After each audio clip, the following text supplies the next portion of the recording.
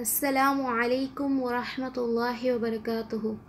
بسم الله الرحمن الرحيم. القارعة ما القارعة؟ وما أدراك ما القارعة؟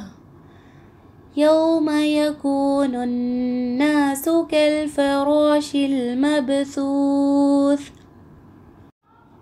وتكون الجبال كالإهن المنفوش. فأما من ثقلت موازينه فهو في عيشة راضية. وأما من خفت موازينه فأمه هاوية. وما أدراك ما هي؟ نار حامية.